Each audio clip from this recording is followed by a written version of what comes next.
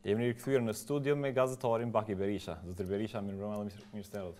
Mirëmbrëma, mirë se ju gjeta. Drita dhe Gjilani do t'jenë pjesë e Superligës për edicionin e ardhshëm. Si i komenton fitoret e sotme të tyre?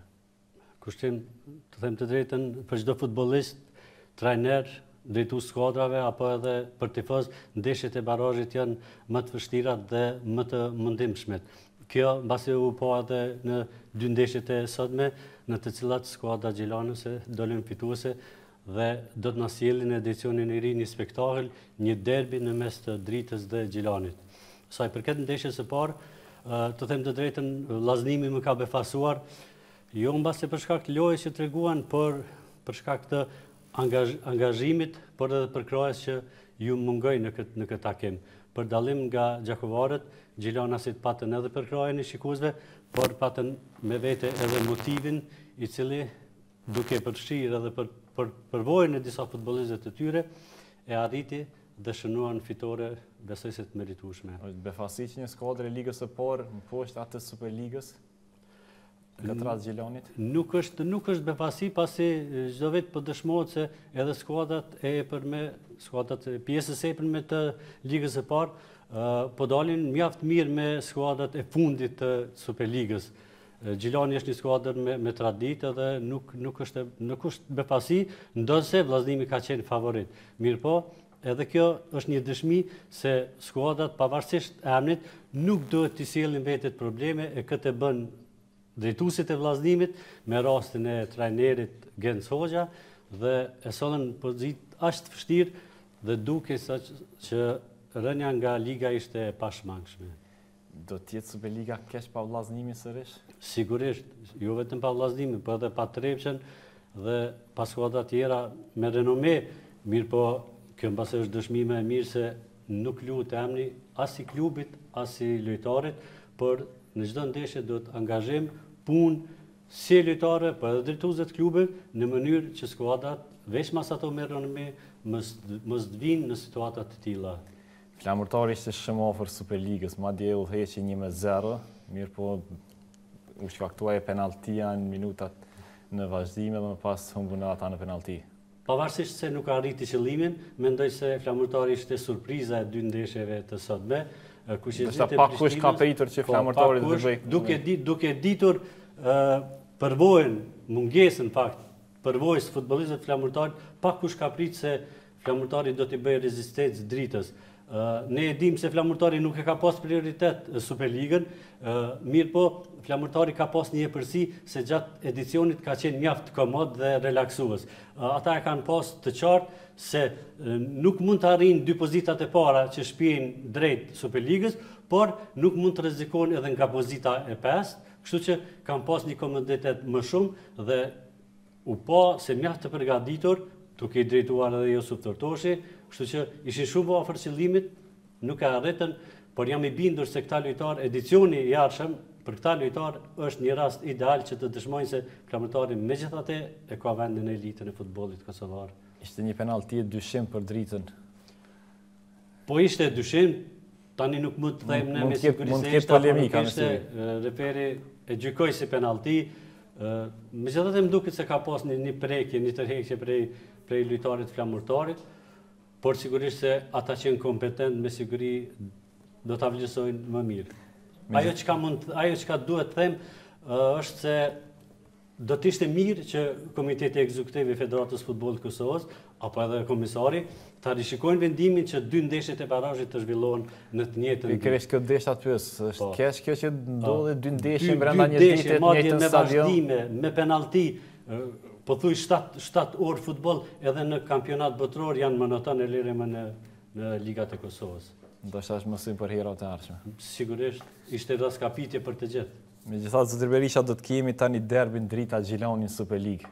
Do të rikthehet sërish. Kjo është më e mira që na ka sjell barazhi. Do të thotë, Drita Gjilani është është një derbi i cili për bindjen time dallon nga të tjerët. Është derbi që sjell futboll të mirë, spektakul, por nuk sjell telashe. Zakonisht ndeshje të tilla sjellin telashe ndërmjet tifozëve, por fatmirësisht duelet ndërmjet Dritës dhe Gjilanit nuk sjellin telashe. Kalojnë, çdo gjë kryhet mbrenda nëntëdhjetë minutave, është një vend i vogël, ka shumë simpatizues, e duan futbollin, por nuk nuk kanë telashe mes vete. Kjo u pa edhe sot kur dy, dy, të dy skuadrat përkrahen rivalët. Është njëri nga derbit më të mirë në futbollin e Kosovës. Sigurisht. Madje rreth 10.000 shikues zakonisht i përcjellin takimet mes tyre. Sigurisht. Do të kalojmë në kampionat, Feronikeli u shpall kampion. Keni pritur ju? Nga këndi i gazetarit? Nuk mund të them se e kam pritur në fillim, në fillim të edicionit, nuk besoj se e kanë pritur edhe drejtuesit e Feronikelit, e as, as kryetrajneri i respektuar Gani Sejdiu, mirëpo ndodhi ajo që ndodhi. Në madje, unë mendoj se nëse dikush e ka meritu titullin e kampionit në Kosovën e pas luftës, atëherë janë futbolistët e Feronikelit. Të zhvillosh ndeshjet gjatë tërë edicionit jashtë fushës dhe të shpallesh kampion, nuk besoj se do të mund të arrijë dikush tjetër. Është diçka historike. Është vërtet historike dhe është është e merituar plotësisht. Pavarësisht se u arrit në xhiron e fundit, unë kam bindjen se titulli i kampionit është ishte përcaktuar 4-5 xhiro, faktikisht në momentin kur Prishtina e hupi hapin për titull. Kur jemi te Prishtina, keni parë shumë ndeshje të tyre, çfarë ndodhi këtë edicion me Prishtinën? E nisën me Bylbyl Sokolin, pastaj u largua ai, erdhi Ramiz Krasniqi, por prapë pa asnjë trofe. Mendoj se Prishtina është zhgënjimi më i madh në këtë edicion dhe vetë fakti se skuadra më me nam në futbollin tonë përcillet mesatarisht nga 300 shikues, prej të cilëve 50 deri në 70 e blejnë biletën, dëshmon se diçka nuk është në rregull me skuadrën. Ku e shihni fajtorin? Fajtori është te drejtuesit e klubit, sigurisht. Ekipi mund t'i ndrojë trajnerat, Mirëpo, drejtuesit e klubit janë ata që e bartin barrën kryesore. Ndoshta edhe juve ju ka rastisur që në ndeshjet e futbollit të Prishtinës të shihni pak shikus, mirëpo të mos e shihni asnjë antar të kryesisë, apo të bordit.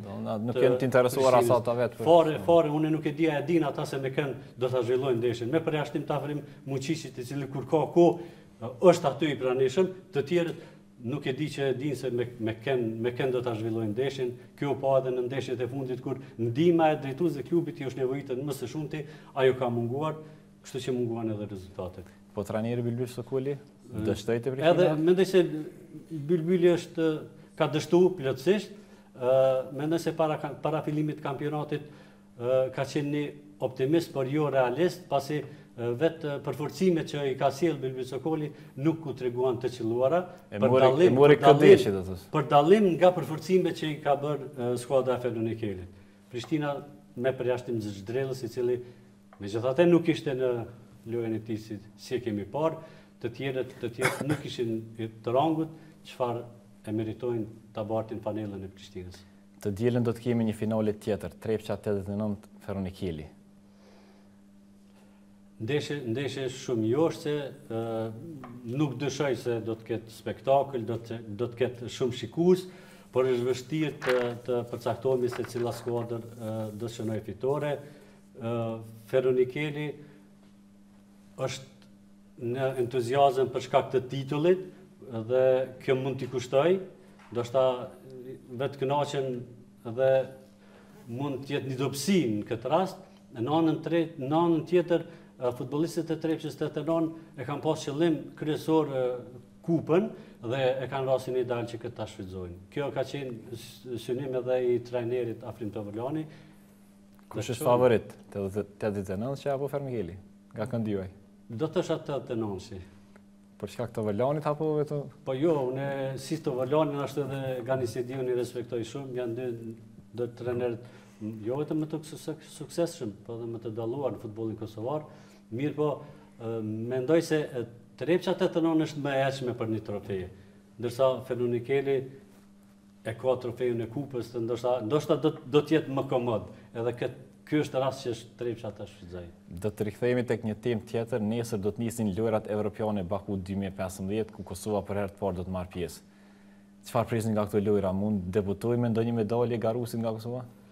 Së pari është kënaqësi që më në fund edhe garuesit kosovarë do të jenë pjesë e përfaqësueses të Kosovës, pavarësisht se në cilin sport. Kurse sa i përket të arriturave, nuk është reale të presim kush e di sa, për vetë faktin se nuk do të marrë pjesë Majlinda Kelmendi. Mirëpo, befasitë mund të ndodhin edhe në sportet luftarake ne zakonisht kemi pasur suksese dhe ky është rast i mirë që ta dëshmojmë. Por, pasi është hera e parë, është me rëndësi që po marrim pjesë, kurse për olimpiadat e tjera, sigurisht se do të presim rezultate. Edhe pse Majlinda do të mungojë, me, megjithatë do të kemi xhudiste të tjera si Distria Krasniqi.